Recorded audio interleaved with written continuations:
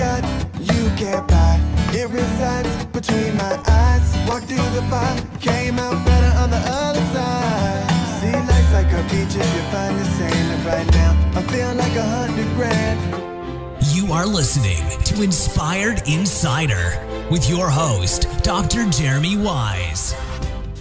Dr. Jeremy Weisz here, founder of InspiredInsider.com, where I talk with inspirational entrepreneurs and leaders. Um, some of the past interviews you can check out founder of P90X, founder of RX Bar, founder of Atari. They talk about not just the ups, but the downs and the journey. Um, this interview is a little bit different. This is was for the Process Breakdown podcast that I did. It was so good that I had to release it on Inspired Insider, so stay tuned. Um, and before you get to it, this episode is brought to you by Rise 25, which I co founded with my business partner, John Corcoran. What we do is at Rise 25, we help B2B businesses give to and connect to their Dream 100 partnerships and clients, and we help you run your podcast so it generates ROI. And the number one thing in my life is relationships. I'm always looking at a way to give to my best relationships. A podcast for me over over the past 10 years has allowed me to profile others thought leadership in companies and give to them and have them on my podcast and platform. So if you have questions about podcasting, go to rise25.com. You can watch a video. My business partner and I banter like an old married couple. Check out rise25.com. Thanks listening to the episode. Dr. Jeremy Weisz here, host of the Process Breakdown podcast, where we talk about streamlining and scaling operations of your company, getting rid of bottlenecks, and giving your staff everything they need to be successful at their job. Past guests include David Allen from Getting Things Done, Josh Fonger from Work the System, and many, many more. And before I introduce today's epic guest, if you haven't, first of all, epic guest today, Chester Elton, and I'll introduce him in a second. But if you haven't checked out his website and his videos, you should do it probably every morning because it will inspire you, it will move you into action, and will create gratitude uh, for you in your life. And so this episode is brought to you by Sweet Process. If you've had team members ask you the same questions over and over and over and over again, then you probably realize that is not a sustainable practice. And there is a solution for it, actually. Sweet Process is a software that makes it drop dead easy to train and onboard new staff and save time with existing staff. So I realized from talking to the founder, Owen, not only do universities, and banks, and hospitals use it and software companies, but first responder government agencies use them in life or death situations to run their operations. So you can use Sweet Process to document all the repetitive tasks that eat up your precious time so you can focus on growing your team and empowering them. And you can sign up for a 14 day trial, no credit card required. Go to Sweet Process, sweet like candy, S W E E T process.com.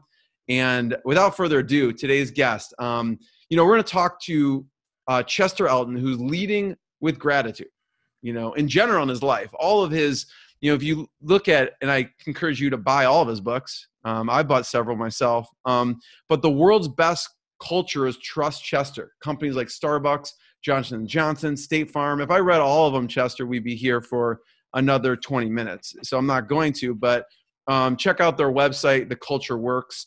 Um, you know, Chester has spent decades helping clients engage their employees to execute on strategy, vision, and values. And he's a number one best-selling leadership, you know, best-selling author on leadership. Him and Adrian Gostick with books like All In, The Best Team Wins, The Carrot Principle, and Leading with Gratitude, the eight leadership practices for extraordinary business results. You know, he provides real solutions for lots of companies. And so check it out. And Chester, you know, I just I need people to go to YouTube or maybe LinkedIn and check out your videos. And I'm not even going to ruin any of the punchlines, but they do call it the Apostle Appreciation. But to, for the full effect, they have to watch your videos. Okay, well, the full effect. Well, that's that's that's quite the introduction. Yeah, and, and uh, spoiler alert: there's always a happy ending, so you don't have to worry about you know the gotcha at the end. And you know, uh, with Adrian, uh, my co-author, we we for 20 years, we really have been dedicated to studying workplace culture and leadership in teams. And that common thread that we always found in extraordinary leaders and extraordinary cultures was this idea of gratitude, uh, appreciation, recognition. You know, you can use a lot of different words there that they really did celebrate. They celebrated their people, they celebrated their customers, they celebrated their communities. And I think more than ever, as we go through this pandemic, the need for people to be remembered you know you talk about recognition as a recognition a remembering is is more important than ever because you know we're we're feeling more and more isolated, more and more vulnerable, more and more just alone. And this idea of remembering each other and celebrating each other, I think, isn't one of those nice to haves that so many people will put it in the category of. It is an absolute must have to keep people safe mentally, emotionally, and engage them and make it safe for them to continue to be productive. Chester, I feel like sometimes gratitude for some people, I don't know, it's more of a natural practice and some it's not. How do you get people to practice it regularly when maybe it's not natural for them? You know, it's a learned skill like anything else. And, and I really appreciate you bringing that up, Jeremy, because people say, well, I'm just not wired that way. So yeah, that, that may be true.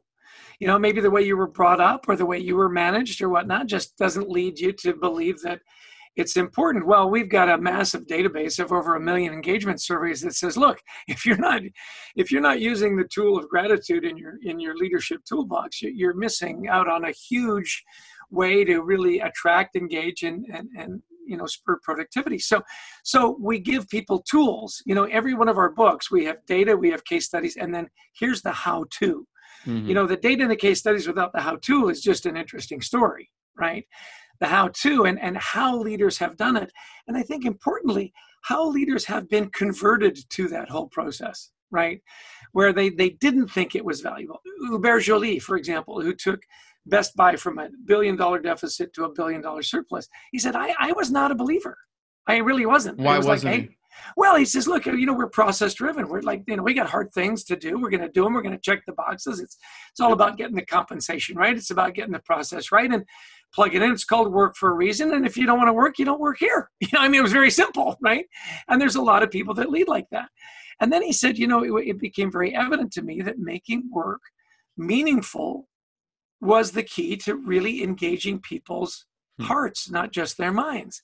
And he said, and part of that process was celebrating their contributions. He said it made all the difference. He's got a philosophy of assuming positive intent. And I love that in hmm. leaders. He said, look, I may be naive. I just think people come to work and they want to do a good job. You know, 999 people out of a thousand come to work wanting to do a good job. And in trying to do a good job, they're going to make mistakes. And you know what? That's okay.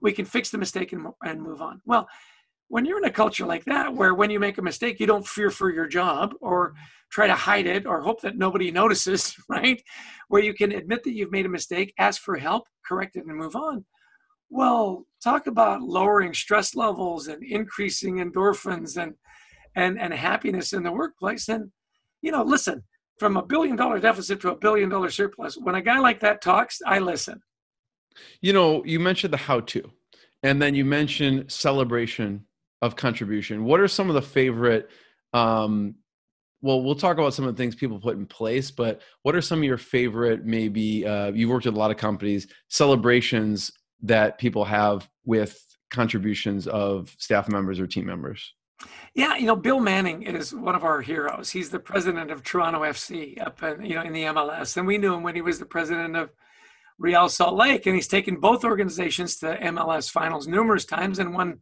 won two cups. And he said, you know, it's always going to be about your people, particularly in their business where they are fan facing. At least they hope to be fan facing, you know, again uh, soon. One of the things he did that I loved is he would have staff meetings once a week. And, you know, on game day, you've got a few hundred people on your staff. Most of that is outsourced. You know, the guys in the parking lot and security and so on. Your actual staff is maybe 30, 40 people. Well, he'd bring them together once a week to go over everything, you know, season ticket holders, cleanliness, whatever it might be. And he started this tradition where he would randomly call out someone in the group to recognize someone else in the group. Hmm. And so, you know, in his expressions of gratitude, he gave them permission to do the same and then created a vehicle by which they could do it. Hmm. And he said, I knew it was really great when you know, Susan was up there and said, "Look, I just want to really recognize Tom. Tom's always been really helpful, and over the last month, he's." And Tom gets up and he says, "I've been waiting for three months to be called up so that I could recognize Denise."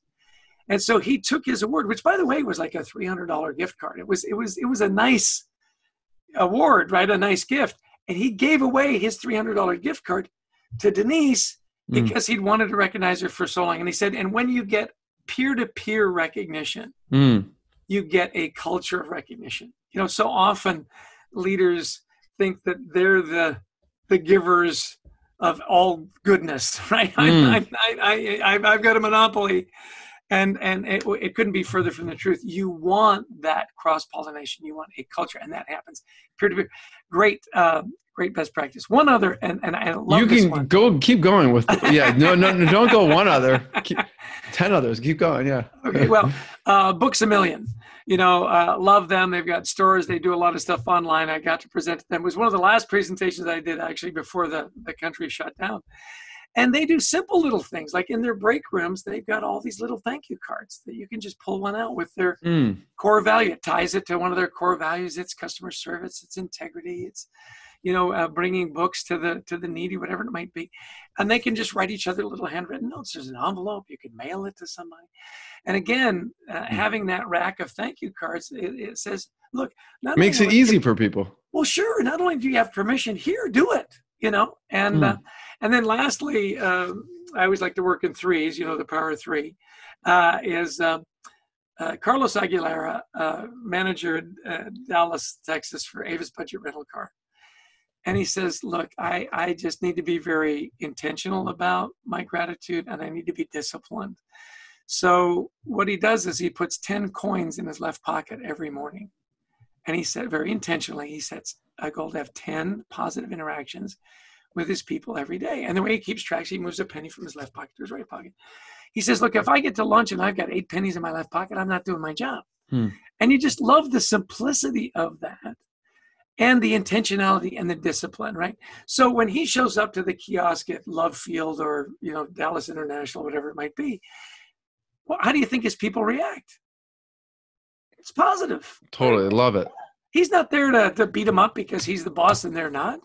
He's there to point out all the wonderful little things that are going right every day. And he, when they have their huddles, he starts it with, with, with appreciation and gratitude, and he ends it with appreciation and gratitude. Now, when he's got to have a tough conversation with somebody, do you think they're more coachable? Of, of course they are. He's got a whole bank of, you know, as, as Stephen Covey would he's got a bank of goodwill that says all those interactions that we had that were so positive. Now, you know what? You've screwed up. We, we, we've got to address that. And, and people are so open. you from come you come from a place of love they know you come from a place of love for for you and want to help you as opposed to this you know being fearful Exactly. So, you know, letting people recognize other people in your team in public, to thank you cards in the break room, to, you know, putting 10 coins in your left pocket, a couple of, uh, of ideas. And, you know, in our book, Leading with Gratitude, we've got many, many, many more. You know, one of my favorite stories that you tell is about um, uh, you got it to your home uh, orange flowers, I think it Right. was. And it shows, com- first of all, companies are actually listening to you.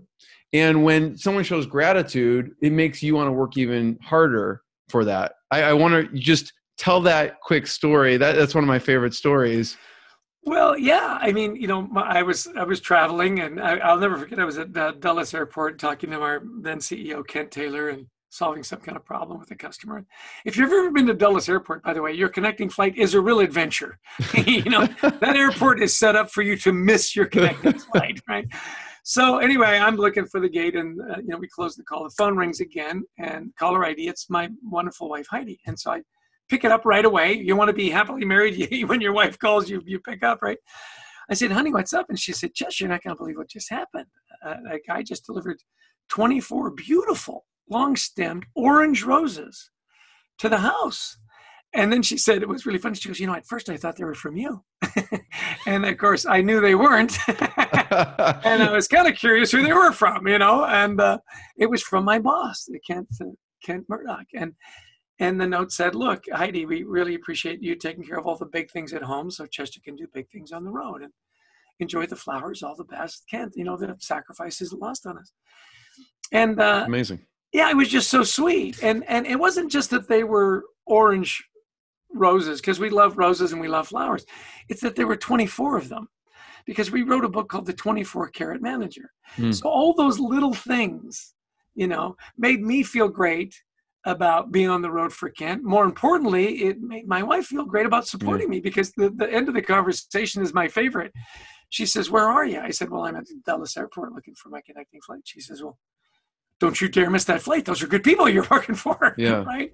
For a couple of roses, right? one of the th- reasons I love that story is you don't just have to recognize the person, but you could recognize their family, you know, and have gratitude and appreciation for their family as well for allowing you to help the organization. So I love that story. And there's another story about Garry Ridge. Yeah, I love Garry. G A R R Y, by the way. Don't forget that extra R. Got it. What was that story? Well, WD 40. I've even got my travel can with me. I don't go anywhere without it. I'm curious how many times you've used it on the road. well, you know, those wheels on your wheelie, you know, they get squeaky. That's true. That's true. Especially you. Yes. Yes. Yes. Well, not, not right now, hopefully in the, in the near future. Well, you know, he, he was so interesting, uh, and we've gotten to be dear friends uh, over the years. Uh, you know, Garry said, look, in the last recession, 2008, 2009, I'm touring our facilities and people are asking me, Hey, Garry, are you okay? And he said, Yeah, yeah, I'm fine. He goes, No, seriously, Gary, are you okay? He goes, Yeah, listen, I'm doing great. And he's, by the way, one of the happiest guys you'll ever meet. So finally, he keeps getting it everywhere he goes. He calls his wife and he says, Honey, do I give off like a, an unwell vibe? Like, do I, do I, do I look sick? I mean, she goes, Garry, they're not asking you, are you okay? They're asking, are we okay? Mm. And the light bulb went off. And he said, at that moment, I said to myself, well, let's not waste a good crisis, right? And I love that attitude. He said, so right away, I started to up my communication and up my gratitude and said, look, we may not be hiring a lot of people right now. We're not going to be able to laying people off. We're in good financial straits. We're going to invest in you. We're going to invest in research he calls his company a tribe because at a tribe we defend each other, we feed each other, we cheer for each other, right? It's it's a much more intimate way of looking at your organization. Well, after all that investment and and the goodwill that obviously came from that, 2010 they were up like over 30% and continued that trajectory where they're now 300 uh, times their market cap. I mean, they went from like something like 280 million to 2.8 billion. That's that's good growth. You know again so i hope the message is coming through to people that are listening. Is it a nice thing to do? Absolutely. Make your mama proud you bet does it have an impact on your bottom line and and, and your growth as a company absolutely a billion dollar deficit to a billion dollar surplus 300 uh, percent market cap i mean come on uh, you know the evidence is there and yet so many leaders still don't don't believe it. And I guess I should be grateful because that gives me work. On the other hand, yeah. it, it makes for miserable places for people to go to work every day. You know, who's been Chester? You know, out of your really your long career, who's been the most skeptical that turned was able to kind of see not just oh this is just soft skills this is like you know a nice to have not a need to have who's who's been or organization been the most skeptical and the like once they saw the light they were the biggest convert? Well, you know, uh, Hubert Joly at uh, at Best Buy was not a believer. You know, mm-hmm. and I and I know Hubert well, and I never say his name right. It says Hubert, you know, Joly. Uh, um, I'll tell you the one, the story that I love the, the most is uh, Dave Kerpen. Now, Dave Kerpen has a wonderful company called Likeable in, in New York City. It's online uh, advertising. It helps people get, you know, a really good presence on Facebook. He's all about the orange too. He is. Uh, he and I share the, the misery of both being Mets fans, which also is orange by coincidence. And um, he was very skeptical. And he's told me the story time and time again. He said, look, eh, you know, and he's a typical New York, you know, grew up in New York, get it done. Hard charging. Hey, yeah, yeah, hey, I'm walking here. I mean, know. their their wedding. I remember hearing the story that they even monetized the wedding. Yeah, yeah. Yes. he was he was looking for a Got sponsor. sponsorship. Yeah. Yes. So I hear you on that. Yes. So I'm glad you know, Dave. So hmm. anyway, he was like, "Look," I, and I'd interview all these leaders, and he, you know, I'm like a sponge. I want to learn, and I'm talking to these guys, and and this gratitude thing keeps coming up again and again and again. and I'm thinking, maybe there's look. You know when someone Chester said calls it this gratitude thing, they're like a bit of a skeptic. yeah. So what is so this thing? Yeah, what what is that? You know, tell me a little bit more about that. You know. Anyway, so he said, so I started to try it, and he said it changed everything. In fact, you know, Dave has got this wonderful best practice because we interviewed him for Leading with Gratitude, as you might guess. You know, Dave is, is just oozes, you know, gratitude and goodness and you can't help but be around Dave, and he cheers you up, right? He said, uh, you know, this was pre-COVID. Clearly, even more important now that we're in COVID. He said, uh, our kids, we'd have to, we, we'd try to have dinner with them as much as possible, and you know, we are having the same conversations over and over. It wasn't going anywhere. We'd say, "How was school?" And they'd say, "Fine." I'd say, "Well, what did you learn?" Go, nothing. you know, they, they've eaten. One word answers. Right. Yeah. So we said, so we changed the rules. We said, you got to answer three questions. Tell me about the best part of your day. Hmm. Tell me who you're grateful for that's not at the table. And tell me who you're grateful for who is at the table who hasn't been thanked yet. And he said, you know, it just brought a, a just, you know, a lovely feeling and spirit into our, our meals. You got to brag about your day, something that was really fun. You got to talk about somebody that you that you love that isn't part of the family, and then you got to tell somebody in the family that you love them. He said, I knew it really caught on when when they'd bring a friend to dinner and I could hear him say, "No, look, you got to answer three questions. Okay, don't don't embarrass me. It's the best part of your day. you know, he said, they're prepping them. Yeah, yeah, they were they were coaching them up. You know, so I, I love Dave's story because it's the classic cynical New York attitude that just did a complete 180, and his businesses have thrived because of it. Thank you for sharing that. Everyone should think about using that at the dinner table, right? Yeah. I love that. Well, you know, we end the, we end the book with what we call the baker's dozen because the leaders that we studied, you know, whether it was Ken Chenault, the retired uh, CEO of American Express, or Garry Ridge at, at WD-40, and on and on, they all practiced it at home, which I found so lovely because it wasn't just what they did at work. They didn't leave yeah. their best selves at work. It, it, it became who they who they are, and that is such an important part of their character. Hmm. You know, Chester, in your book, you talk about a lot of different myths and breaking yeah. through some of those myths. I was wondering, which do you consider one of the most common ones, and and talk about it. Yeah, uh, well, we, we, we take seven of the most common, and the one that always has irked me for forever is I don't have enough time. You know, I look, uh, I'm doing more with less. Hey, we're in a pandemic here, right? Uh, I got to get stuff done. If I had more time, I absolutely I would do it. And say, look, how much time does it really take? How much time does it really take for you to text somebody and say, "Hey, I saw what you did there with that customer. That was awesome." Or to pull somebody aside and say, you know, listen, I know you got a lot of stuff going on at home. Can't tell you how much I appreciate you showing up every day and doing your best, right? In fact, we actually broke it down. We said, you know, the average leader probably works about a 50 hour week, you know, and uh, they take about an hour every week. It's 2%. 2% of their time. Now, if, if you're if you really are a student of leadership and you want to be a better leader and you want to be more efficient, can you carve out two percent to do something that you think will exponentially grow your business and engage your people. If you can't make that commitment, then you're, you're not committed to being a great leader. So that one has always bothered me. I don't have time. If I had yeah. the time, you know. It takes five seconds. It does. You know, uh, even if, even if, by the way, even if you're going way out of your way, you know what? I'm going to write them a thank you note. Gee, there's maybe five minutes. right. and that's and that's if you you know spend half that time looking for a stamp. So it's it it, it is right. it you know and again it comes back to you know our, our friend at avis budget uh, where you have to be intentional and you have to be disciplined.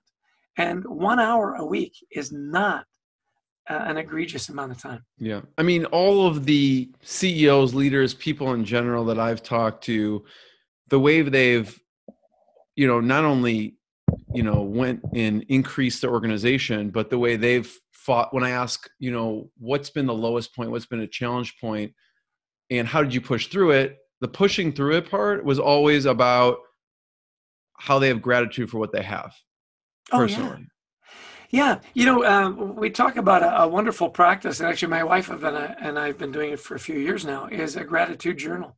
Mm. You know, just at the end of the day or at the beginning of the day, write down three to five things you're grateful for. And you know, uh, with the virus, if you're sheltering in place, if you're not one of those people that needs to be out and about, um, you know, a sunny day is something to be grateful for. It just, it, you know, and and I think we took sunny days for granted, at least in the Northeast. Like you're living in San Diego, I get it. Every day is a sunny day, right? Um, not in Chicago. Yeah, like yeah, you get it. Chicago, it's like you know. Uh, a sunny day lifts your. If it's not snowing, I'm yeah, or windy, or just you know miserable. So simple things like I heard the birds this morning. You know, uh, I had a fox run through my yard. I haven't seen a fox for forever, and I thought, first off, I thought, hey, are you supposed to be out during the day? Uh, is that safe for you? And, and and secondly, isn't that isn't that wonderful? Yeah. So you know, my wife and I, we end the day with a very simple practice. We say, what are your three? What are hmm. three things you're you're grateful for? And and it's just, you know, studies have been done at you know University of Pennsylvania and, and Berkeley that people that are grateful their blood pressure is lower they sleep better. You know we were talking about david uh, meltzer the, the famous sports agent and all this stuff. I mean there's a guy that just says look i start every morning saying thank you and i end every day saying thank you. And uh, and it's it's changed my life. Yeah i mean um, i was talking to one person uh, roland frazier and, and this this struck me because there's so many things we take for granted and he said uh, when I wake up in the morning, I say, uh, "Thank God I can see and hear and walk." I'm like, that was like a head slap for me. Like, yeah, yeah, those are obvious things we take for granted that we can be grateful for. You? Well, you know what's the old song? You know, my, my feet hurt until I saw a man who had no legs. You know, and then my feet didn't hurt so much. Anymore. yeah, you know, you know. So it, it, it is those those simple things, and and I know this it, it may come mm. across to some of this. This is really like Pollyanna stuff. Let me tell you, it's not it, it isn't. And, and put that out of your head. I, I hate it when people say, well, these are soft skills that are nice to have. No, they're not. And particularly now, I mean, we need to be remembered. I, am I'm, I'm always amazed, you know, uh, in the different groups I'm in. Somebody's name will pop into my head and I'll just text them. Got mm-hmm. a friend, Sarah. She's driving back from a graduation thing that they had in Indiana. And I said, Hey, I, I know it's a long drive. Just thinking about you. I want to let you know you know that I, you, you remember it and I hope you're safe. And, and the responses you get back are, are amazing. And you think mm-hmm. for for seven seconds of my time, you know, look at the return. It's it's it's ridiculous. I can never get enough of this stuff, Chester, and and that I mean that's why I buy all your books. I mean, it's well, a constant reminder to do these type of things. So I would encourage anyone to get leading with gratitude. Um, there's one chapter about walk in their shoes. I wonder if you could explain that a little bit. You know, this is this is such a, a wonderful leadership practice, and I love leaders that have come up through the ranks. You know, we're we're doing a, a wonderful real time case study with uh, Texas Roadhouse Restaurants and Kent Taylor, who's the founder and CEO. You know, sixty seven thousand employees didn't lay off one you know, went from 600 restaurants being 95% in in restaurant dining revenue to now 100% takeout. Well, now they're starting to open somewhat. In four weeks, uh, not only turned his business around, turned to profit, and is is hiring, is is paying bonuses, wow. and and he's done every job in that restaurant. He's washed the dishes. He's worked behind the bar. He's cut the meat. He's cleaned up. He's he's he's you know worked the the, the, the desk. And when you've walked in their shoes, you don't make unreasonable demands you know what it takes to do those jobs. And it makes you appreciative and grateful for the work that happens every day to keep those restaurants open and running. And so I love leaders that really do walk in their employees' shoes because they're, you, you know, uh, and we've all had jobs like this, where, you know, like you're in sales and you get this quote and you go, well, where did that come from? Well, you know, corporate just did the numbers and this is your, well, they have no idea uh, about my territory, do they? Because if they did, they'd never, they'd never give me a ridiculous number and all it tells me is that they they don't know the business they don't know my area they don't know me and by the way they don't care right well with that as a start to every day how productive you think you're going to be right yeah. as opposed to the guy that's walked in your shoes and said look I, I get that it's hard to keep the place clean here's what i did you know how do you do it and the, the great the great um, genius of kent taylor is he listens see how I pause for effect there so people could listen. Yeah. So it's, you know, he does, he asks the questions and he listens. And he says, and when time gets really tough, I, I talk to my crazies. Because they're the guys that are already thinking outside the box. yeah, think they're already figuring out, hey, we, we can't have the restaurant open. What are we going to do on the curbside? You know, let's let's do line dancing on the sidewalk, six feet apart. Let's show movies on the back of our restaurants so the neighborhood can get a get a break. And he calls those guys his big dogs, the guys that embrace the challenge and the change. And then I got my more conservative, they're my, my puppies on the porch. And he says, I pair my big dogs with my puppies. you know, and, and, and, you know, it sounds kind of silly and funny. He says, My people know that they can innovate. They know they can get crazy because I'm the chief crazy officer. Hmm. and it's safe. And I love that.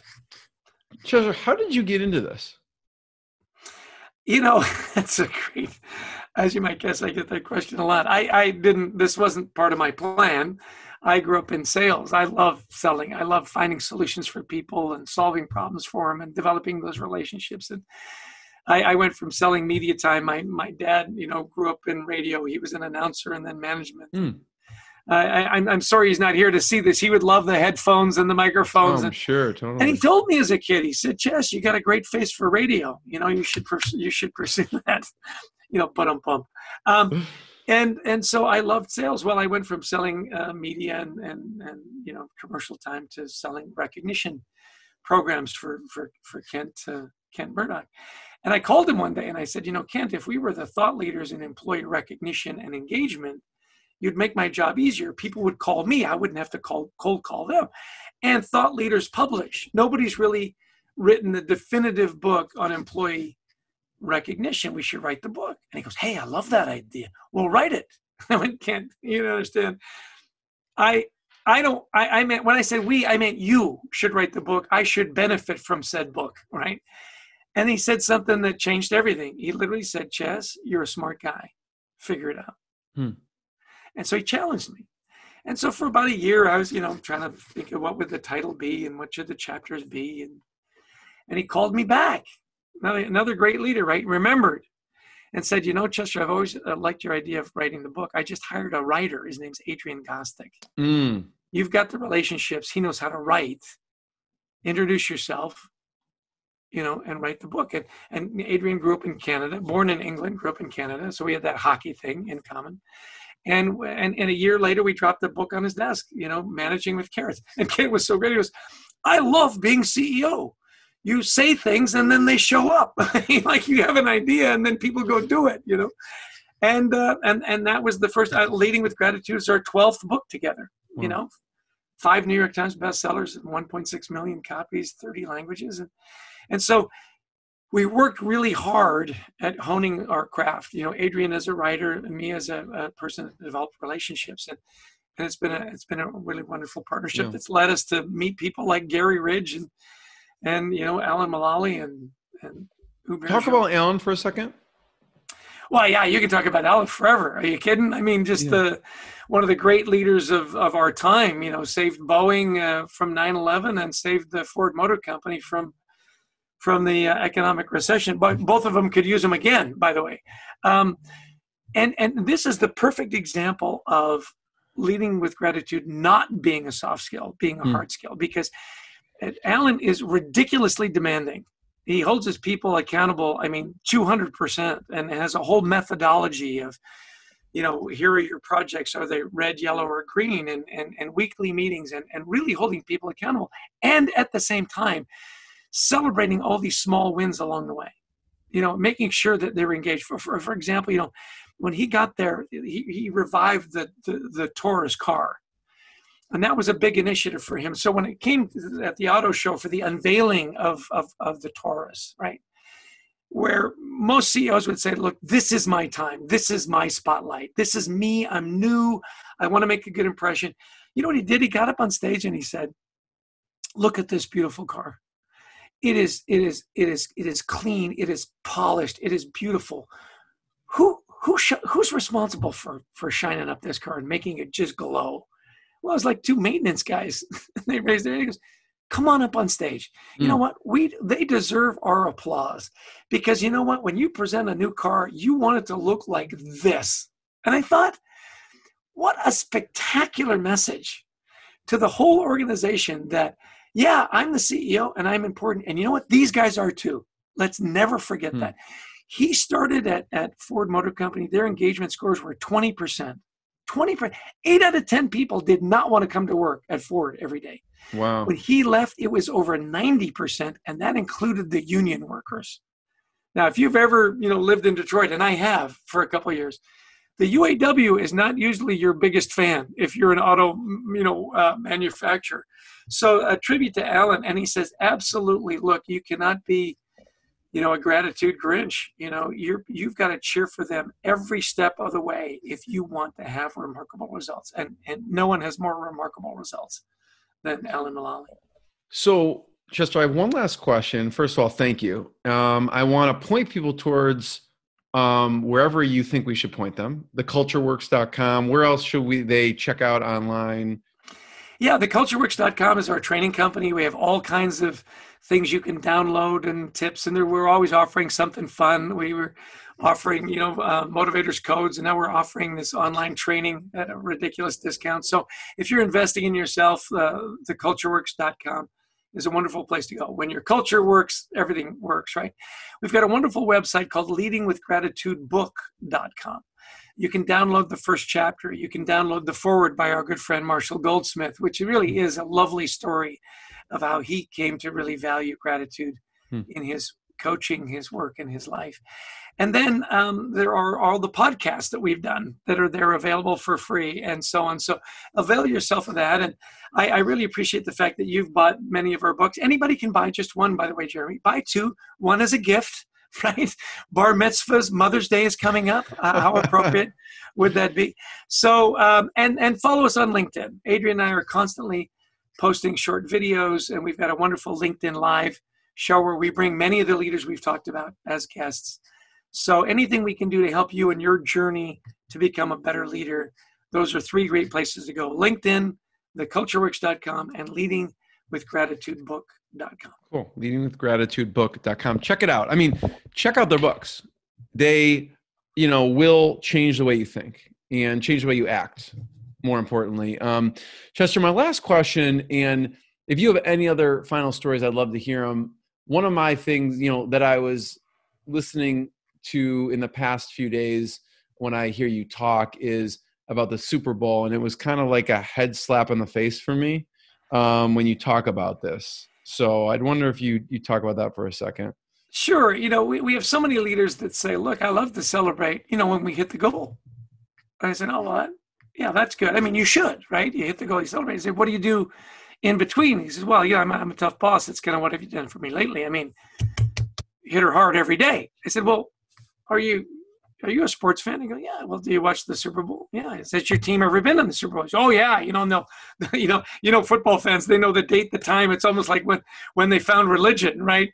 And uh, I said, well, you know, when you were getting ready for the Super Bowl, like when did you start cheering for your team? They go, oh well, while we were making the guacamole? And I go, yeah, and and and painting your face and putting on the jersey, like you cheered with them before the game even started. And then the kickoff and then every play and and why did you do that? He said well because they're my team. And and and i and i want them to know i'm cheering for so that they can build momentum. I go exactly. Why wouldn't you do that for your team why wouldn't you find those small wins along the way? Why wouldn't you start cheering? Like we were laughing you know before the podcast. I said you know when my when my kids were playing sports i, I would cheer for them that they got the shoes on the right feet right? It was like that was a big deal right? And so that, that mentality of let's build some momentum. Let's celebrate so many things. And and and you get the momentum you get people's emotional engagement so that when they hit that hard time your team you know throws a pick six right you can continue to cheer because you've got that that goodwill they know they've got your back you know i i i love the old saying that says people don't uh, uh, care about how much you know unless they know how much you care and and it is true you know, again, coming back that look, right now, people are afraid. They are, are vulnerable. We're not waking up in the morning saying, what's going to go right today? Because our news feed tells us everything that's gone wrong, that could go wrong, and probably will go wrong, right? And so we need to fill that void with the good news.